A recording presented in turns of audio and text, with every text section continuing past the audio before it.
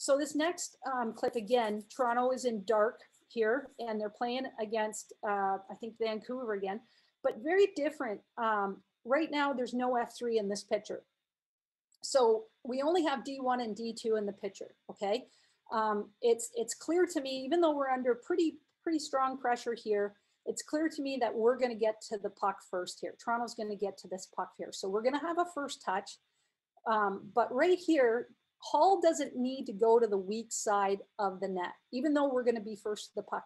Because we don't have an F3, he's now gonna provide a second close support. In case we need to do a little bump play or reverse play, we can now create this two on one against this forward, okay? So you'll see when um, he goes in to get this puck, this guy's on him pretty hard right away.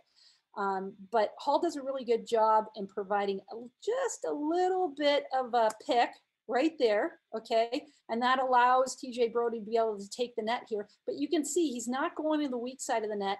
He's gonna go to the strong side of the net here uh, as a second quick because we don't have F3 in the picture. So now we have the opportunity, we can bank the puck, a little reverse and come out the other way, but we do a good job in hugging that net right there. And now Toronto's back up the ice heading north. Okay,